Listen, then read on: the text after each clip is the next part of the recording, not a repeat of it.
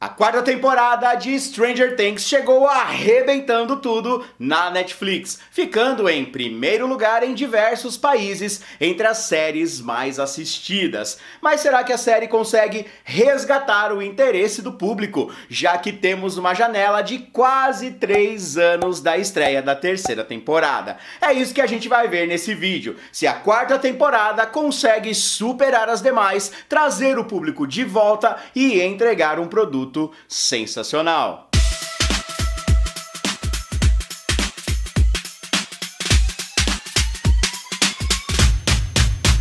Um dos acertos da quarta temporada foi fazer um grandioso flashback dos eventos das temporadas passadas. Isso daí refresca um pouco a memória do espectador. E é claro, a quarta temporada não começa exatamente onde a terceira acabou. Nós temos ali um time skipping, um avanço no tempo de quase um ano da terceira para a quarta temporada. E como a gente viu em um dos posters lançados pela Netflix, os personagens vão se dividir em equipes.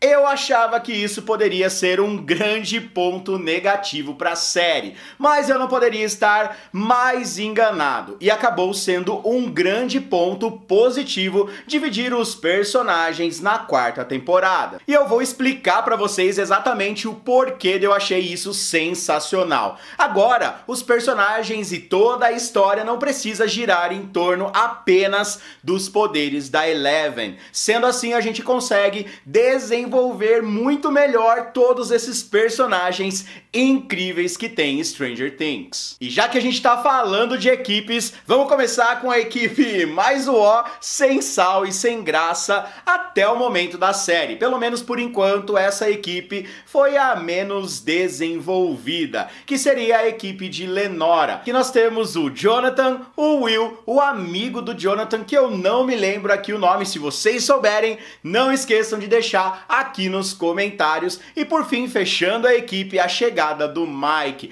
Eles foram pouco trabalhados ainda na história, não tendo grandes feitos nessa primeira parte de Stranger Things da quarta temporada. Eu espero que na segunda parte eles tenham maiores feitos, já que um leque de possibilidades e procurar um certo personagem vai se transformar em algo essencial para o final da série. E é claro, eles eles também precisarão voltar a Hawkins para que toda a equipe de Stranger Things esteja junta novamente para lutar contra um grande vilão. E em seguida nós temos a equipe de resgate, formada por Joyce, Murray e Hopper. E é claro que tem mais um novo integrante nessa equipe, mas isso vocês vão descobrir assistindo a série. Essa equipe sem dúvida tem um dos grandes arcos cômicos da série e toda essa carga fica pro Murray um personagem essencial nessa equipe. Essa equipe é totalmente mesclada, nós temos momentos de muita comédia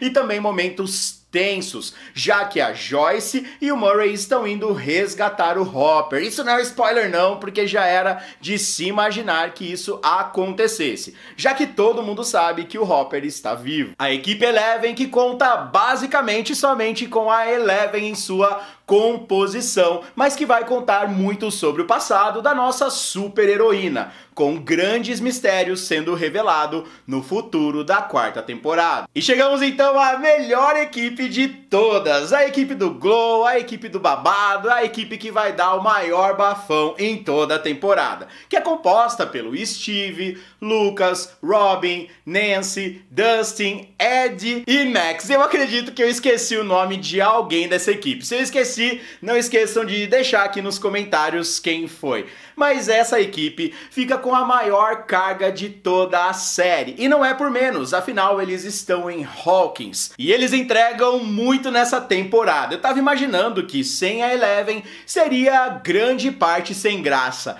Mas muito pelo contrário, eu tava muito enganado. Eles fazem um grande show nessa temporada. Não só descobrindo sobre o vilão, não só descobrindo sobre o mundo invertido, o Upside Down, mas trazendo novos personagens a se juntarem aos caçadores, aos jogadores de D&D, numa forma diferente de ser apresentada ao espectador. Mas é claro que Stranger Things está recheado de muitas referências de filmes de terror dos anos 80 e é referência para todos os lados. E isso inclui o novo vilão da série, Vecna, que lembra muito o nosso querido Fred Krueger e em vários momentos, em várias menções. Vocês vão acabar percebendo se já viram algum filme do Fred Krueger. E falando sobre os efeitos especiais da série, isso não quer dizer apenas os efeitos de telecinese da Eleven, não. Tá tudo muito bem cuidado, tanto no mundo invertido, Upside Down, quanto no mundo real. E a gente tem locações, fotografia, cenários e iluminação incrível. E os objetos dos anos 80, meu Deus, é tanta referência,